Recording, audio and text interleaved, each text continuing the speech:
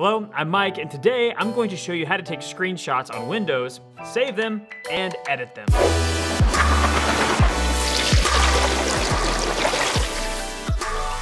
Learning how to take a screenshot on Windows systems is the simplest way to preserve or share any visual content from a website, program, or video game.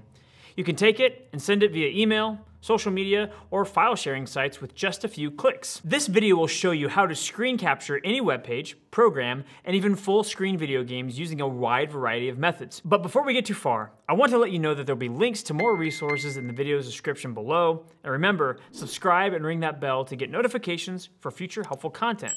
Now, let's get started. This method works on any version of Windows, including Windows XP and 95. Standard keyboards for Windows computers include a dedicated key to capture your screen. It looks something like this. The print screen key says print screen, print SC, or print SCN, depending on your keyboard and country. It's typically in the top right hand corner beside the final F12 key. On some newer keyboards, especially on laptops, you need to hold down the function key while pressing print screen to capture the screen. When you use this method, the OS copies the entire screen automatically to the clipboard. From there, you can directly paste it into an email, social media platform, or messaging app. You can even start editing it in an image editing software like Photoshop or even MS Paint. One of the easiest ways to save a screenshot taken with the print screen key is to paste it into your photo editing software of choice. For example, you can use Microsoft Paint, which comes free with all relevant versions of Windows. Open up Paint and press Ctrl V to paste the screenshot. You can also right click and select Paste from the drop down menu. From there, you can edit the file as you want before saving it. If you use Windows 10, you can also use Paint 3D. But if you want to use a more powerful image editor, we recommend a specialized tool. It's also possible to paste the screenshot directly into an email or social media message. It's one of the fastest ways to share what's on your screen without jumping on a call. Press the print screen, paste it in, and press send and it's on its way. If you want more control over your screenshots, like capturing a tab, you can use the built-in Windows snipping tool or other third-party apps or software. That way, you won't have to crop away the toolbar or other elements manually. All recent versions of Windows, including 7, 8, and 10, include the snipping tool. You can easily open it by searching for it in the toolbar search. Press the Windows key to open the toolbar and jump to Windows search. Alternatively, you can use the Windows plus S shortcut to summon Windows Search. However, note that in Windows 7, you must manually select the search field before you can type in the keyword. Type in Snipping Tool and press Enter. Note, there's no keyboard shortcut to open the snipping tool. It would be best if you did that manually. In Windows 10, the updated version of this app can be opened with a shortcut, but we'll give you more on that later. Pressing the Enter key after typing the correct phrase will open the program automatically. It has various modes, including free form screenshots, but the basic form is a rectangular screenshot shape. But at least it gives you more flexibility than just pressing the print screen key.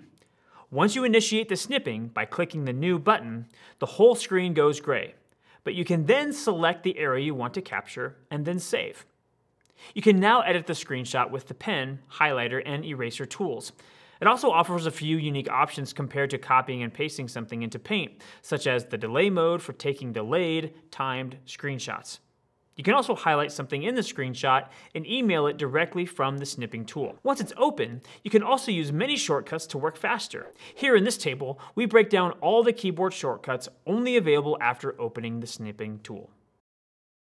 One feature we miss is the ability to take multiple screenshots with an identically sized and placed window. All in all, it's not a life-changing screenshotting app by any stretch of the imagination, but it's sufficient for primary use.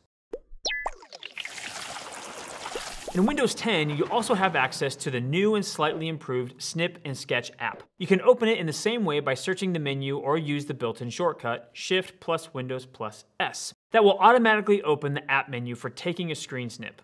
Also, here you can choose from window, freeform, full screen, or rectangle options for your snapshot. With the window snip option, it doesn't automatically capture the active window. You can switch tabs with Alt plus Tab and then click the specific window you want to capture. Compared to the original version, there's been a few changes. Screenshots automatically save to the dashboard, including changes you make like highlights or annotations. Automatically add outlines to snips helpful for partial screenshots. Share the screenshot via Wi-Fi or Bluetooth. Change the settings so the print screen button opens Snip and Sketch automatically. You can no longer set a delay for the screenshot to happen later. By default, the PNG format files saved by Windows screenshotting software are unnecessarily large. Once you've taken and edited these screenshots, you should make sure to optimize the images for the web. If you want some extra features like more powerful editing, automatic web optimization, or full page website captures, you'll need to use a tool. Google Chrome doesn't come with built-in screenshotting functionality, but there are plenty of great free extensions available. Just go to the Chrome Web Store and search for Screenshot. Filter the result by extensions, and you'll see for yourself. You can then choose from dozens of Chrome extensions for screenshotting web pages. There are so many options that it can be hard to choose. To make things simple, we recommend any of the following. Nimbus Screenshot and Screen Video Recorder, Awesome Screenshot and Screen Recorder, and Lightshot. All of these tools go way beyond what you can do with Snip and Sketch. For example, you can capture a full page screenshot instead of only the visible part of each of these. In Awesome Screenshot, you can even use a Control plus Shift plus E shortcut or manually open the menu to do this. If you're wondering what that looks like, take a peek at this full screen capture of our homepage. One continuous shot perfectly representing what our site looks like in a browser. It's an easy way to share what a test site on a local server seems like if there are errors that don't show up in staging. Another practical feature is that you can screenshot just the contents of a particular tab. That means you don't have to crop out your 90 plus tab windows or the full URL to your secret document.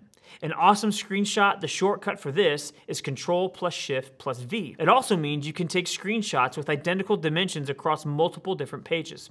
That's perfect if you use screenshots as part of your blogging or content marketing and want to keep your visuals consistent. Plus, most of these extensions, including Awesome Screenshot, come with a better image editor than what you'll find natively in Windows. You can, for example, blur out parts of the image, add in shapes, arrows, text boxes, and more and these options are all available in the free version. These features make it easy to edit and prepare tutorial-style screenshots to include in a how-to blog post. One interesting thing about Microsoft Edge is that the latest version has built-in screenshotting. You don't need to install any additional plugins. Just open up the browser and start taking screenshots. Use the shortcut Control plus Shift plus S to open the Web Capture Overlay. You can then choose between free selection or capture the whole page. The full page capture doesn't rely on multiple partial screenshots and scrolling, so a floating bar won't ruin your screenshot. Once you've captured the page, you can then use the available draw and erase tools to highlight items on the page or make annotations. Beyond that, you can share, copy, or save the screenshot. The features are rudimentary, but the tool works perfectly to share a web page with a friend or coworker. In Windows 10, the Xbox Game Bar is installed and active by default, even if you don't own an Xbox. You can open it at any time by pressing the Windows key plus G. Although it was built into Windows as a feature to screenshot and record video games, it works just as well for capturing movies, websites, or the content of any other program. After opening the Xbox Game Bar, you can either press the camera button in the top left corner or take a screenshot without opening the menu by pressing the print screen shortcut keys, Windows key plus Alt plus print screen. Once you open the game bar, you can show recent screenshots by clicking the Show All Captures button. From here, you can browse and share all recent screenshots on Twitter. There's even a super basic meme editor that lets you add big block text to the top and bottom. The Xbox Game Bar saves files to this location. It has some unique features like the ability to scale the screenshots up to 4K. If you have the latest version of PowerPoint in Windows 10, it supports capturing screenshots. Instead of using the print screen key and pasting it in, you can capture other windows while inside PowerPoint. It will automatically insert a screenshot of the window you choose into the slide. If it's a full-size window, it'll cover the entire page. The newer versions of PowerPoint ship with a fairly powerful image editor. You can change colors, saturation, and even remove the background with a magic wand. You can also customize the screenshot with shapes, borders, and text within PowerPoint and save the slide as an image. Combined, that probably makes PowerPoint the most potential official Microsoft screenshotting tool. Lightshot is a lightweight and easy to use screenshotting software. To use third-party software like Lightshot, the first thing you need to do is download the program. Visit the download page on the official website and download the Windows version using the appropriate button or link. Once installed, it automatically overrides the regular print screen key command. Every time you press the key, now you open up the Lightshot interface. You can select an area of the screen to capture and add simple text, rectangles, or arrows. You can edit the thickness of the lines and elements by using your mouse scroll. If you don't have a mouse plugged in, try swiping two fingers on your touchpad. To save the files, you can either press the save icon or use the Windows standard Control plus S shortcut. It keeps the files in this location, but you can change that folder and easily save files in other locations. It's not super powerful, but it's fast and effortless to use. On a Microsoft Surface with Windows 10 installed, you can already use any of the ways we've mentioned so far. As if that's not enough, there's also a custom way to take screenshots because it's technically also a tablet. To take a screenshot of your Surface device, press and hold the Windows button and simultaneously press the volume down button. When it takes a screenshot, the screen will get dimmer. You find the screen capture files here in this location. Some Surface owners complain that this option doesn't work for their computer.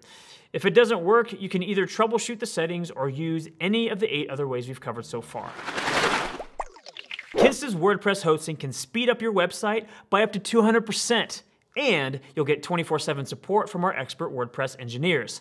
Let us show you the Kinsta difference. Try a free demo of our My Kinsta dashboard at demo.kinsta.com. Thank you for watching, and don't forget to subscribe for more tutorials, explainers, and helpful content like this.